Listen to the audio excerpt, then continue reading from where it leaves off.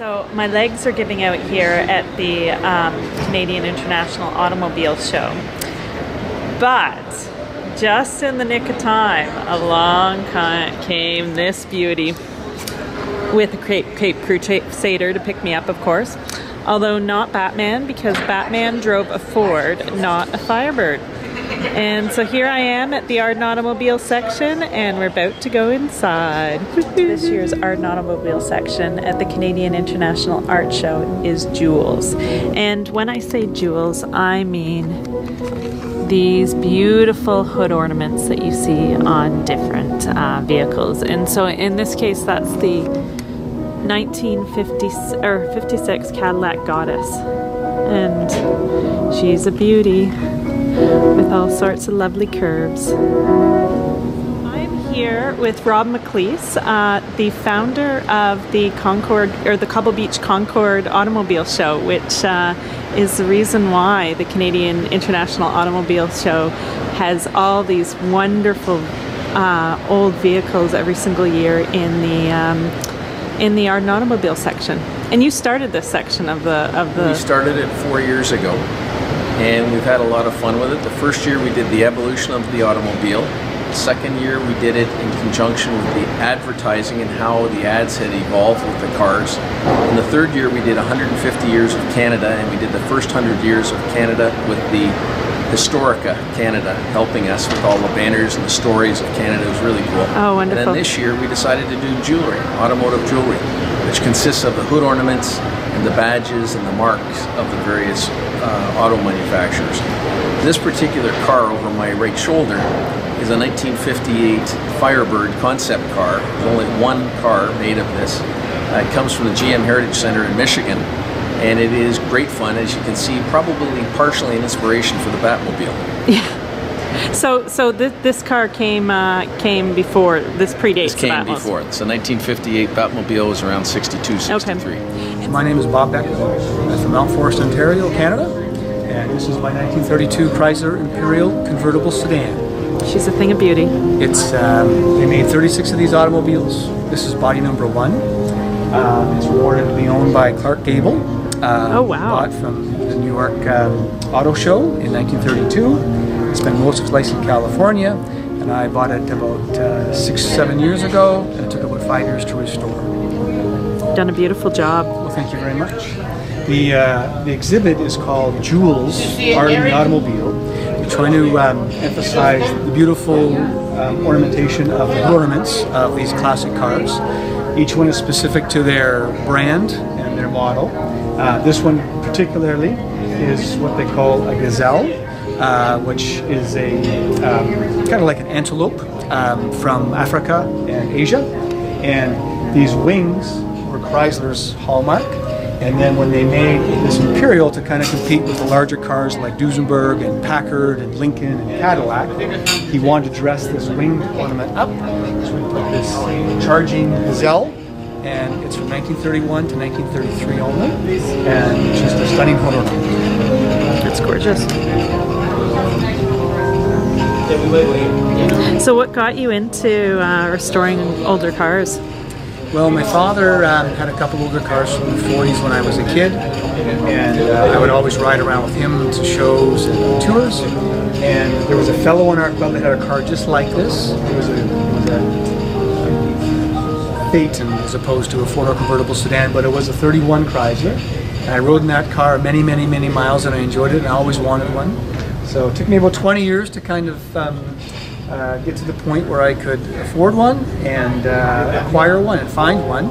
So I did, and then over a five-year period I restored it to this condition and I chose the silver pewter uh, body with the black fenders accented with pinstriping because um, I wanted something that looked elegant and I feel we've succeeded. Very nice. It is elegant. It's just gorgeous.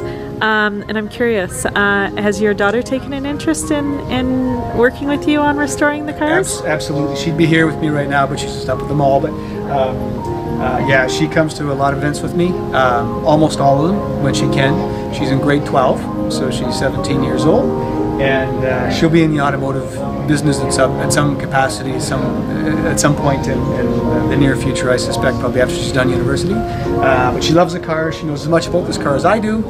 If I wasn't here, she could stand in and tell you the same thing that I'm telling you. So I'm very proud of her to kind of enjoy the hobby with me. We've had some great times. Yeah, it's lovely to be able to share that. Thank you. You're very welcome. The gentleman who owns this car, this is a 1925 Rolls-Royce Silver Ghost. Uh, the gentleman lives in Port Elgin. He drives this car to Florida, not trailers it and then drives it down there. He drives it to Florida. That's all kinds of awesome. and he's got he's got a whole bunch of Rolls Royces, and he just loves his old cars, and he's great at maintaining them. And his son is into the into maintaining the older cars as well, and his grandson is now into it. So it's really Oh, fun. very to see. cool. What a great hobby to share as Isn't a it? family. It really is. And see how the crank, the starter, is tied to the. uh, Oh, I didn't see that yeah, earlier. and so that it doesn't swim, flip around. Huh. You see the special lenses on the uh, lights, Oh yeah. kind of purpley. Yeah, yeah, yeah. It's So does throw it? the light better. Okay. Is it a slightly purple hue? Yeah, yeah. Nice. but it really it's such a classic line on this car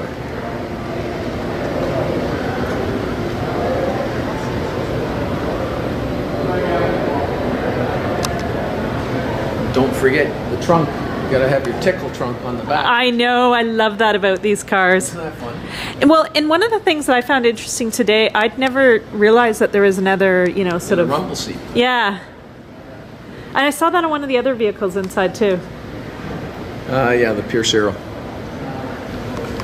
no it's great fun it's just it's really fun and you can see somebody really takes good care of these Oh, absolutely. And then you treat them well, they'll treat you well. They'll drive for a long time. They're really solidly built. And how do you like the windscreen? On I the know. of the I know. I was thinking that. That gave me a good chuckle when I noticed it earlier. Yeah. Well, And- how many times have you been in a convertible, sitting in the back seat, and it's like you're Mm-hmm. you're just getting blown up? Well, these guys were smart. That's 1925. Mm-hmm. Yep. Very smart. So, and that hood ornament is known as the Spirit of Ecstasy. Oh, Yes. And it actually was fashioned after a lady who was the mistress of a fellow who had one of these cars. And then unfortunately, she uh, she had a problem when she was killed on the ship that she was on in the First War was torpedoed. oh no. Yeah. And so her spirit has lived on in the form of that hood ornament. It's a good way to be remembered.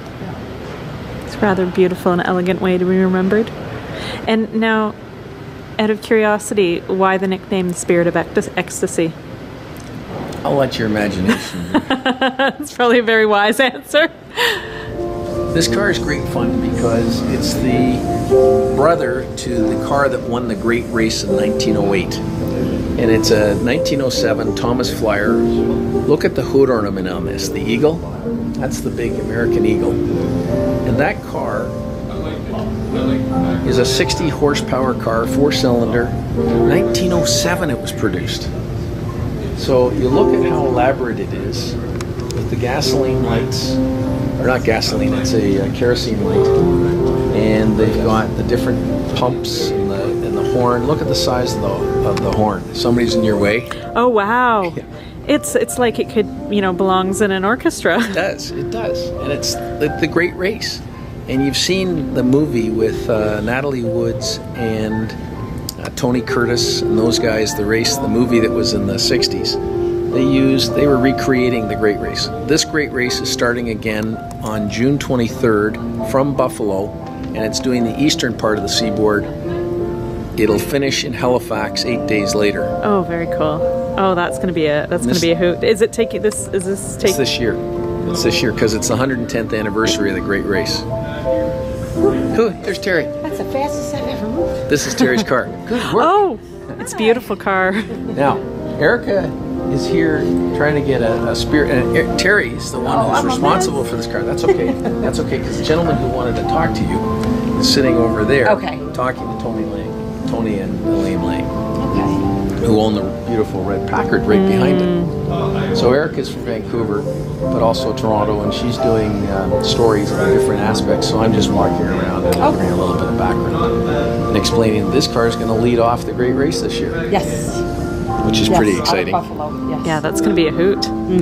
Well, we uh, we uh, had a they did a lunch stop at our museum uh, last year, and we were on day seven. So when they came to um, came to the museum, we did have this car. Also, we have two cars from the Great Race movie. Okay. The Hannibal and the Leslie. Do you? So we, yeah, we have actually got two sets of each. And what museum are you from? Uh, Stahl's Automotive uh, Stahl's Automotive Foundation in Chesterfield, Michigan. Okay. and we had uh, this one out there, and we had both the um, the Hannibal and the Leslie out there, and I know I'm going to get his name wrong, Jeff Mio or Mio, something like that. He is the grandson of Oh, the guy who talks about the great race. Yes. Yes. He is the grand or great grandson, I believe, of George Schuster, who was the driver of the original. He Not technically Montague. was the mechanic. Yes. But he actually drove the car to the finish line. Now, now, how do you decide who gets to be the driver behind the wheel?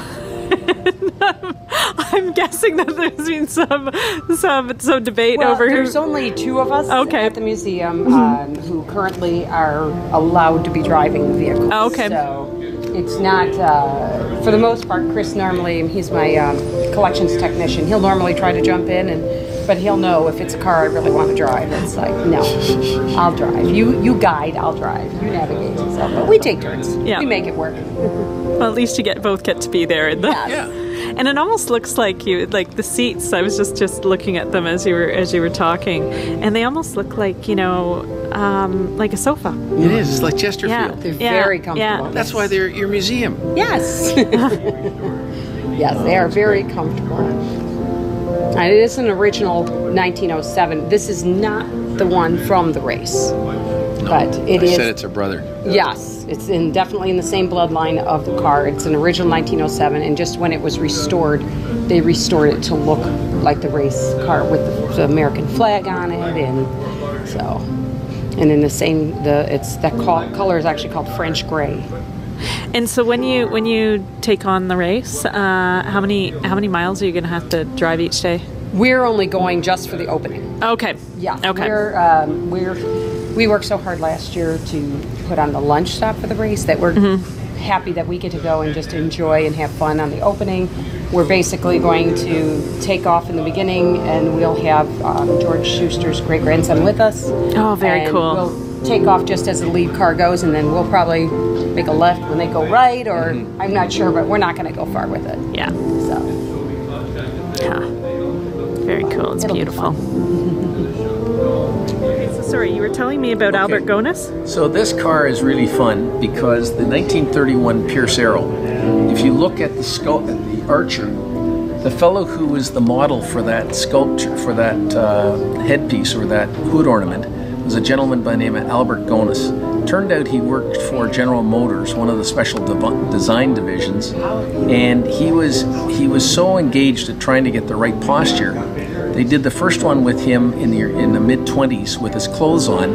Then he decided I've got to get more and look like a real archer. So what he did is they stripped him down and he actually practiced with a broom broomstick to try and simulate a bow and arrow and Huh. doing the bow. And so it's pretty cool because you look at the physique and it's so funny that he's General Motors and yet it was on a Pier, Pierce Arrow. Huh.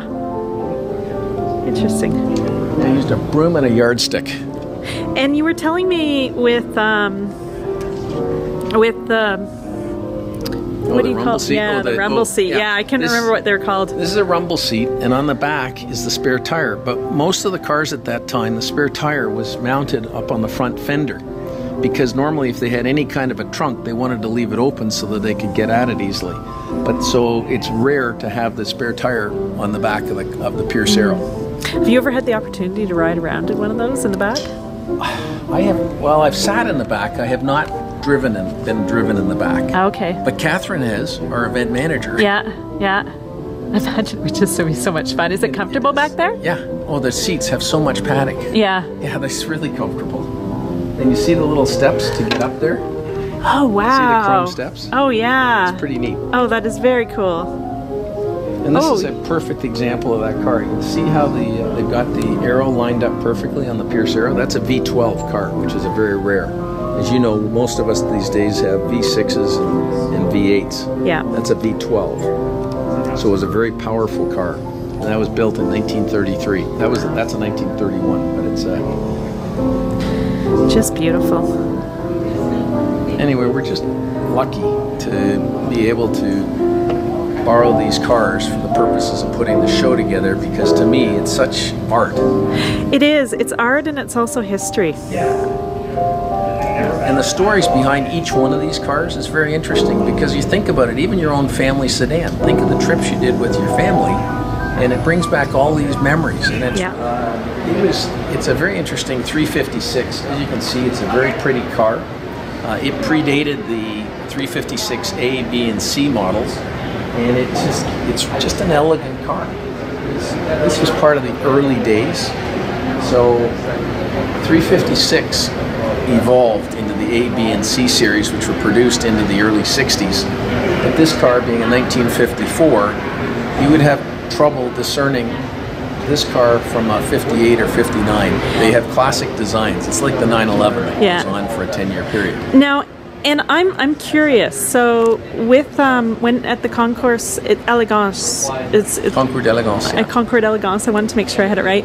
Um, do you get people dressing up all sorts of like do. wonderfully to match the vehicles? Yeah, we do. We get period people who dress in period costume, people who will just come with the big hats and the and the nice clothes, and we encourage that because it's almost we want it to be a festive atmosphere. We want people to have some fun, and you're putting on the Ritz with some pretty cool cars. Yeah, That's yeah. what, and people get all excited about it. And so I'm curious, what did uh, what did the um, what did the people who came driving this car uh, end up wearing? Well, you know what? In this particular car, they would be dressed in a 50s, early 50s, early to late 50s outfit, and it'd be pretty. It, it's not as not as discerning as the outfits that would come from the 30s. So you know, we're starting to get into what a lot of us baby boomers would have seen. And you know, might have the bell-bottom pants. Yeah, so Oh, that's fun. 1971 Ferrari 365 GTB4 Daytona, and it was a condo find. It had been parked in a Toronto garage for 25 years, Wow. from 1989 till 2014. And the gentleman who bought it, he bought it in 1971. He saw the car at the Geneva Auto Show, went directly to um, uh, the factory at Ferrari in Modena. He ordered the car, had it delivered a few months later. He picked it up in Europe, drove around Europe, put it on the Queen Mary, had it brought over to North America. Then he drove it, raced it at Lime Rock uh, in the U.S. And then he, in 1989, his father got sick, and died in Asia. He had to go home, so he parked the car, put it on blocks in his condo garage, thinking he'd be back in six months, six to 12 months. It took him six and a half years to clear his father's estate. Came back mid 90s. He had all kinds of business he had to get done, so the car stayed on blocks until 2014 Wow. when they found it, they took the cover. I said, I got to do something with this. And he sent it to auction. The fellow who bought it at auction had done all the maintenance on the car Oh, for the wow. 30 years, Oh. the 20 years that it was operating. Yeah. And so it's pretty neat that this this car is still here. So it's been in Ontario since 1971, early 72. That must be magical for him, like to uh, It is. kind of, you know, And it, you know what? It's that stuff. It's those kind of stories that get you all excited. This particular car up here is a Delahaye that came.